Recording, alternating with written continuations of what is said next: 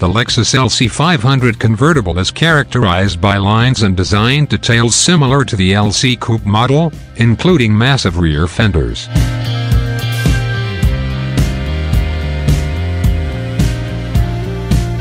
The solid roof was replaced by a canvas sunroof, most likely for less weight.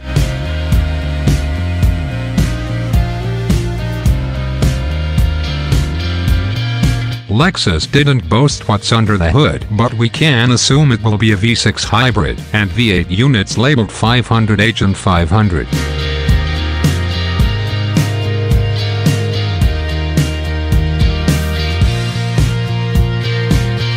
The 500H has a maximum power of 354 horsepower from the 3.5-liter V6 and electric motor, while the 5.0-liter V8 produces 471 horsepower.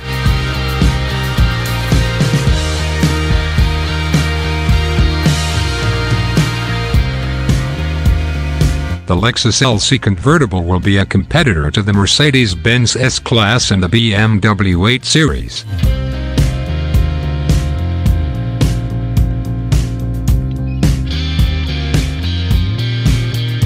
It is hard to imagine that the Lexus LC convertible will be much cheaper considering that the price of the coupe is already over 100,000 euros.